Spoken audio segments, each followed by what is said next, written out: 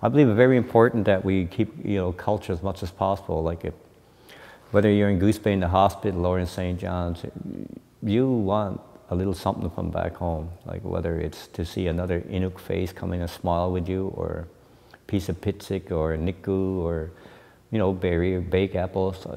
And when you're away from home, I think you want or need these more because there's, you're not around it, you're wondering wondering how your family's doing, I guess, and your community, and uh, you're missing things. You're missing, like I said, you one day you might want a piece, some fried trout when he's not there, uh, duck, seal meat, anything. It's you're away from home this long that you miss all your traditional foods.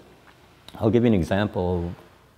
When I was in residential school, um, I found I was hungry a lot. Not meaning that they starved me and locked me up in a room, but I missed my food. I missed my caribou, my seal meat, my ducks, my fish.